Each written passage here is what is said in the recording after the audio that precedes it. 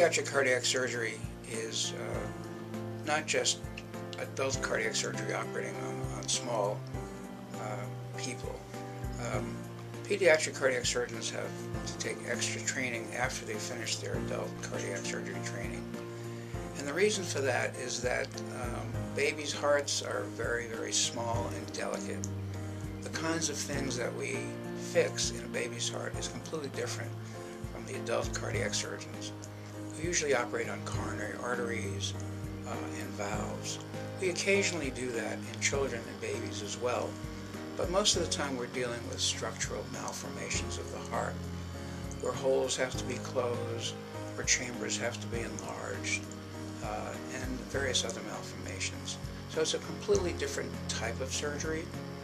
And of course the surgery is much more intricate in the sense that the hearts are very small, they're very delicate structures, we need special instruments. The heart-lung machine is completely different from the adult heart-lung machine. It's catered to babies, small infants. It's much kinder and gentler to, the, to the bloodstream. So, um, so in that sense, pediatric cardiac surgery really is a specialty of its own, uh, which uh, takes many years of practice to, to acquire.